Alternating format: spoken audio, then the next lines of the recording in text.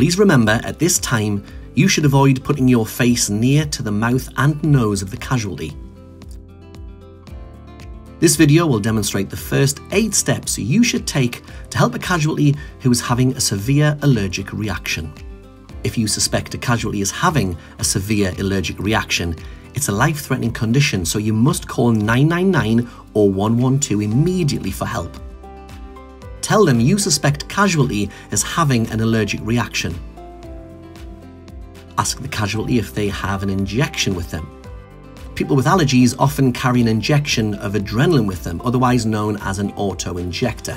If they have one, help them use it. It should be held in place for 3 seconds or as instructed on the auto injector. Help the casualty to sit in a position that helps with their breathing and stay with them. Keep checking their breathing and keep them calm.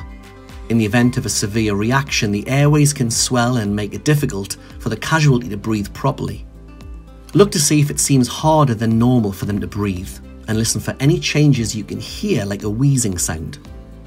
Reassure them that help is on the way and keep them as calm as possible. A second injection can be given after 5 minutes if there has been no improvement. If they become pale or weak, lie them down with their legs raised and supported. Stay with the casualty until help arrives. Reassure them and keep them calm. Remember, your casualty's condition could possibly get worse, and they could even become unresponsive. If this happens, then be prepared to use basic life support and start CPR.